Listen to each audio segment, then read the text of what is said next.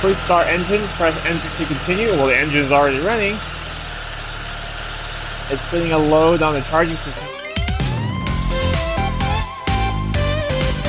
Welcome back to with Classic, and we're here with another cool product from Topdon.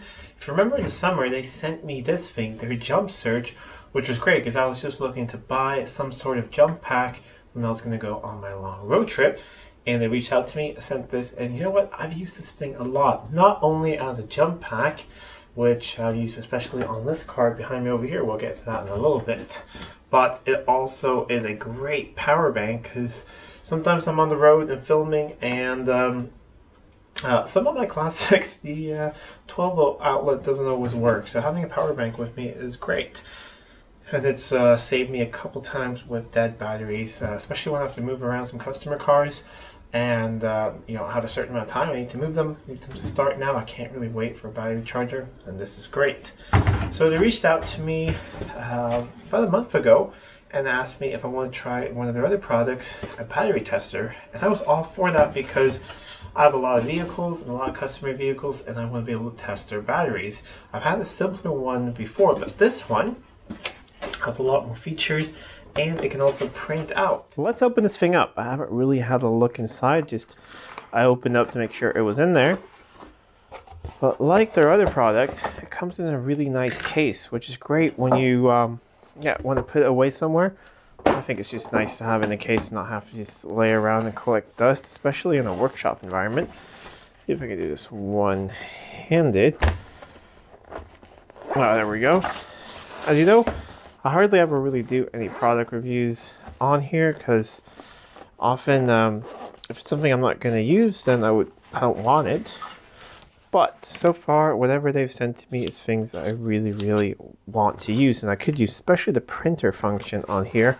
Um, being able then to prove to customers, you know, that they have a bad battery or that their battery is good, and just be able to print that out. Let's get this all out of here. So here is the device. Looks like there's already some printer paper in there. Here is some spare rolls.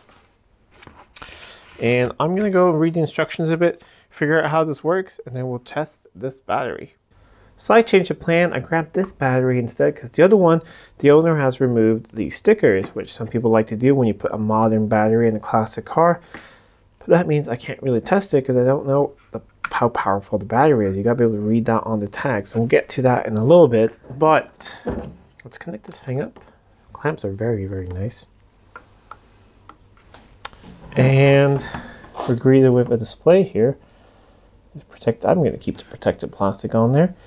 And you have several tests. You have a battery test, a cranking test, and a charging test are all really, really good. So you can test your cranking. Um, so basically how low your battery goes while you are cranking. You can test charging, how the charging system works, and but we'll do a battery test. You can test, you know, regular flooded, AGMs, gels, everything. This is a regular flooded. And here is the standard of how it is measured. This one is 830 amps EN. So we're to go down to EN. It's a really nice clear display. Get this thing up to 830. Don't actually know how this battery is. Now it's testing.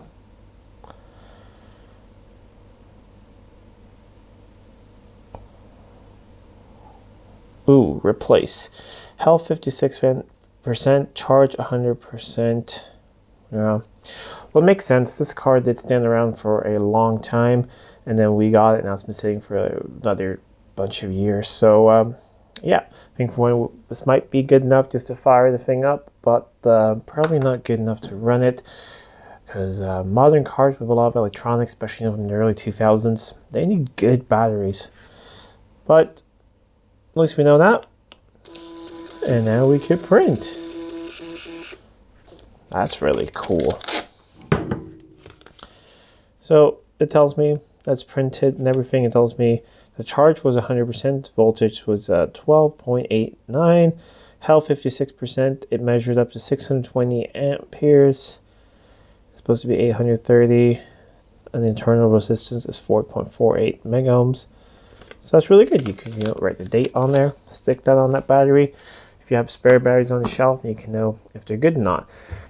This would be a great thing as well to bring to um, like junkyards. At least my local junkyard, you can usually buy used batteries there. And then you can bring this along and actually know if it's good because it's usually a really good deal. Like a big battery like this would be like 30 bucks or something, and a regular car battery like 20 bucks. So if you can you know prove that it's a pretty good battery, then that would be worth it. But I think we'll go outside and we'll go to my winter beater and we'll connect this thing up and we will try the cranking test. This is my winter beater. It's a 1996 Saab 900 with a lot of miles on it. And I actually don't know anything about this battery. It came with it when I bought the car. I mean, it was a $500 beater. And it still cranks over the car fine. So it's going to be interesting to see how good this battery actually is. Because I've never uh, noticed that this thing wouldn't want to start. Even after sitting for a long time. It's 540 amps EN as well. And we'll connect up the positive clampage. Let's see if we can get a good connection on here. There's a little bit of oxidation. Like I said, these clamps are really nice. I wish I wish the clamps on my battery charger were that good. Topdon, 12.5 volts. Battery test, regular flooded. Ooh, it remembers EN. Cool, and it remembers from the last test. That's really nice. Oh, passed it. 540. I'm not expecting this thing to be great because just look at it. That battery is probably really old.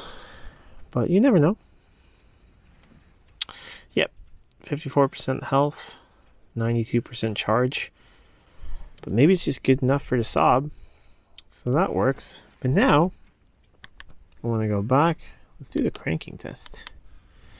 Please start engine. I got 30 seconds to do it, so I'm going to run the side and start it.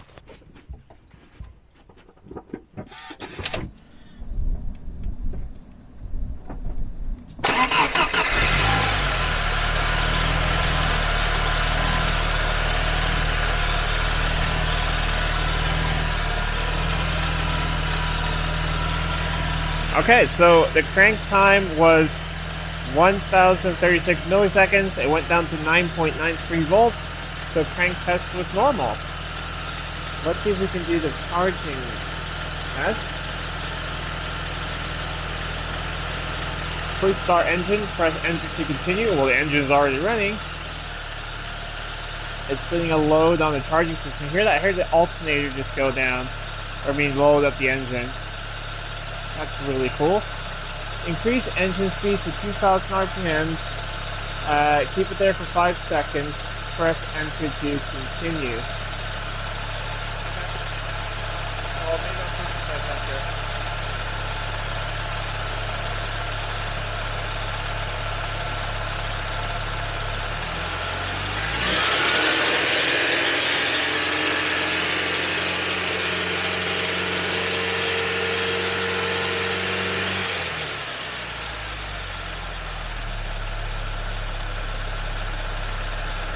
Charging is normal.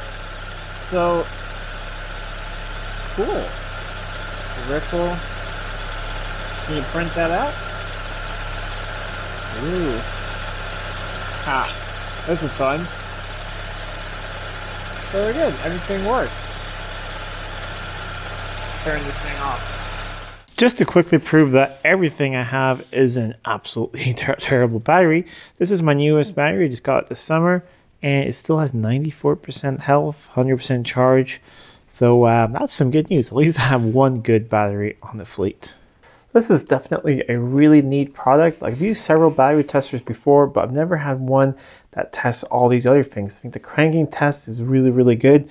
And my real favorite is a charging one because I got two cars with a little bit of charging issues and I'm definitely going to use it. Just having something that can put a load on the charging system and actually monitor it and make sure that the alternator doesn't go too low in voltage and everything. That is really neat. So that's something we're going to use in some future videos on the XJ6, which might have a charging issue, and the XJ12, which I know has a charging issue. But really, really great product. There'll be links down below if you want to pick one of these up. Um, I'm really happy with it, and uh, I think that um, I would definitely want to pick something like this up if it hadn't been sent to me because just the charging test is fantastic and to be able to keep a track of batteries and being able to test junkyard battery because I quite often get junkyard batteries and I'm definitely going to bring this along next time I go. Anyways, if you like this video, please give a thumbs up, share it with friends. If you're not already subscribed to the channel, please do subscribe to the channel. It really does help out a lot. Until next time, I'm Adam. This was Limit Classic. I'll see you soon.